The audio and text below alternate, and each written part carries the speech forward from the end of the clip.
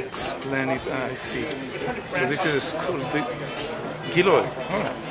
So this is just one one of a kind. This, this is one of a kind, but we're talking to many different groups about retrofitting their, their bus fleets, So how much? changing uh, it for over from gas to electric. How much kilowatt hour batteries you need to move this monster? Um, about 56. I'll put you in touch with the guy that's knowledgeable on the buses. Wow.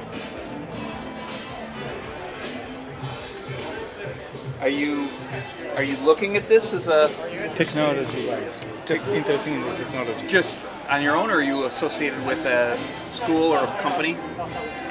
Yeah. Okay. But I'm following the, the field. So Bob can answer your questions about the Okay. specifics about the, the bus itself. So- and I can answer I- questions I- about the solar. Is this running? Yeah, yeah, we drove it here. From Gilroy. Um, I believe they brought it up from Gilroy today. Yeah. or maybe that's not true.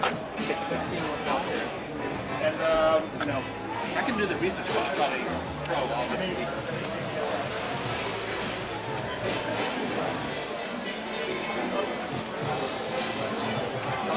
Again ask him find Okay. out where they they brought it from. But I know they store it down there.